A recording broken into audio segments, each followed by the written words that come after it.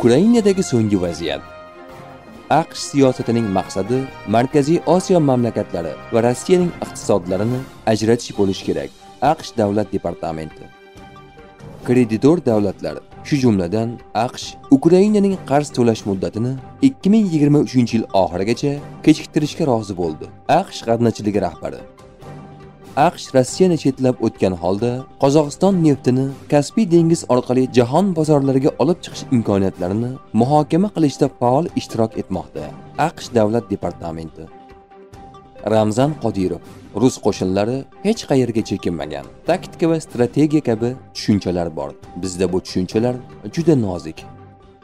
Ukraina qurolli kuchlari Xarkov oblastini deyarli butunlay qaytarib olib, Rossiyani yirik operativ mag'lubiyatga uchratdi. Rossiya armiyasining og'ir mag'lubiyati bilan yakunlangan voqealar qanday rivojlandi? Ukraina armiyasi 6 kunlik yurish davomida Xarkov va Donbassga tahdid solib turgan Izyum to'sig'ini olib tashladi va Rossiya harbiy qismlarini sharqda Oskol daryosining narigi sohiliga, shimolda esa chegara ortiga chekintirdi. Ukraina Izyumni olishi Rossiya Donetsk oblastida o'z oldiga qo'ygan maqsadlarga erishish istiqbollariga chek qo'ydi. Hozirgi qarshi hujum urushga yakun yasay olmaydi. Ertami kechmi u yakunlanadi. Rossiyada esa yangi mudofaa chizig'ini tashkil etish, hatto kichik qarshi hujumlarga o'tish imkoni tug'ilishi mumkin.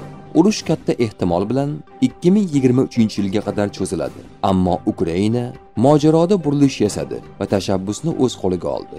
Endi Kiyev Moskvani o'ziga qulay bo'lgan joylarda jang qilishga majburlashi mumkin.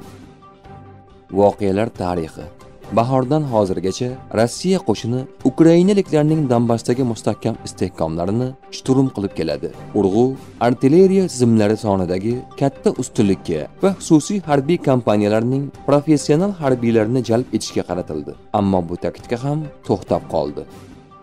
Rossiya kuchlarining so'nggi yirik muvaffaqiyati iyun oyi oxiri, iyul boshida Severodonetsk, Lisichansk bosib olinishi bo'lgandi. Shundan buyon Rossiya Donbassda sezilarli omadga erisha olmadi. Iyul oyi oxirlaridayoq Ukraina armiyasi janubda yirik yurish boshlashga tayyorlanayotgani haqida xabarlar paydo bo'lgandi. Ko'plab harbiy tahlilchilar Rossiyaning Herson va Krivoy Rog yo'nalishidagi guruhlari pozitsiyasi mustahkam emasligi, Dneprning o'ng sohilidagi bu qo'shinlarni ta'minotdan uzib qo'yish va keyin qurshab olib yo'q qilish imkoniyati borligiga e'tibor qaratishdi. Dmitriy Peskov dunyoda rus gaziga talab katta. Ulkan rivojlanish rejalari bo'lgan ko'plab mintaqalar mavjud. Bu yevropa yo'nalishining o'rnini qoplaydi. Britaniya razvedkasi rus armiyasining yo'qotishlarini tahlil qilib, Rossiya o'zining harbiy salohiyatining bir qismini yo'qotgan degan xulosaga keldi. Yevrokomissiya rahbarining bayonotlaridan Yevropa ittifoqi Ukrainadan elektr energiyasi importini sezilarli darajada oshirish va uni raqamli bozorga cheksiz kirishini ta'minlash niyatida. Yevroittifoqning Rossiyaga qarshi sanksiyalari uning iqtisodi parchalanmaguncha o'z kuchida qoladi. Yevropa ittifoqi Xitoyga qaram bo'lmaslik uchun o'z iqtisodiyotiga noyob tuproq materiallarini qayta ishlashning to'liq jarayonini yaratish kerak.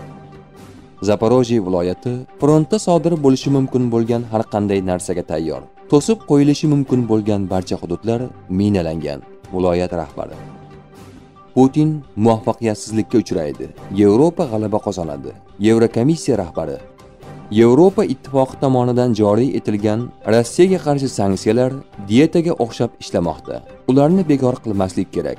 Yevropa diplomatiyasi rahbari Jozef Borrell uning tushuntirishicha, sanksiyalar Rossiyaga o'z ta'sirini o'tkazmoqda. Ammo natija darhol ko'rinmaydi. Haqiqiy natijaga erishish uchun harakatni davom ettirish kerak. Agar siz hamma narsani to'satdan tashlab qo'ysangiz, yo'qotgan kilogrammlaringiz qaytishi mumkin dedi Bordel. Ukraina urush harakatlarida sezilarli muvaffaqiyatlarga erishdi, ammo uning oldida hali uzoq yo'l bor, dedi AQSh davlat rahbari Jo Bayden. Ukraina uchun Yevropa tomonidan yetkazib beriladigan tanklar Rossiyaning energetik shantajiga eng yaxshi javob bo'ladi, dedi Mixail Podolyak. Uning so'zlariga ko'ra, Kiyev qarshi hujumni davom ettirishi uchun Yevropadan og'ir texnikalar, jumladan tanklar va borona texnikalar kutmoqda. Germaniya esa harbiy texnikalar yetkazib berish masalasida yetakchilik qilish kerak.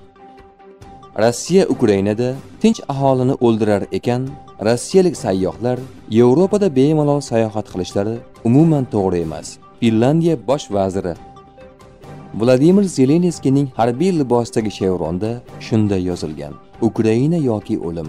Ukraina davlat rahbari rossiyaliklarning zarbalariga nishon bo'lish xavfi ostiga qaramay, harbiy harakatlar hududiga kelishda davom etmoqda. U ayni vaqtda ozod etilgan Izyumda bo'lib turibdi.